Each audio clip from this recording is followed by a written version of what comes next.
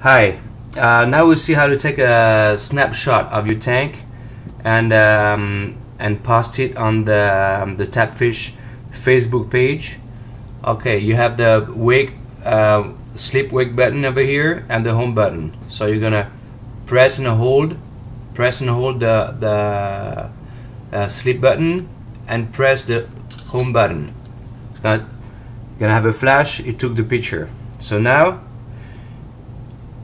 I have a little application that it's free that I recommend you uh, you download. It's the uh, Photoshop Express PS Express. All right. You open it. It's I, I like this one because it's very easy to use.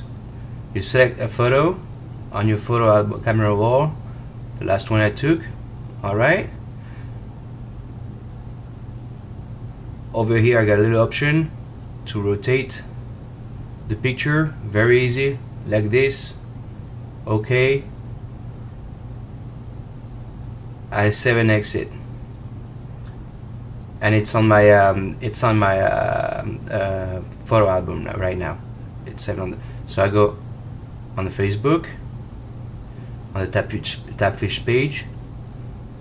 Here I press the little camera choose from a library and it's gonna be the last picture which is this this one.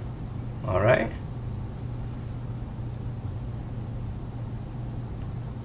y'all can write a caption or whatever I want. I'm gonna write test.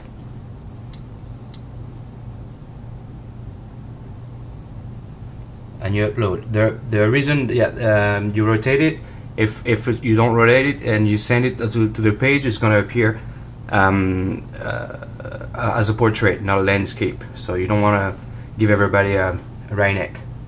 Alright, should be on there. I'm gonna reload. Alright. And it's there. I'm gonna leave it on the page just to, uh, I'm curious about the comments I'm gonna have with that. Alright.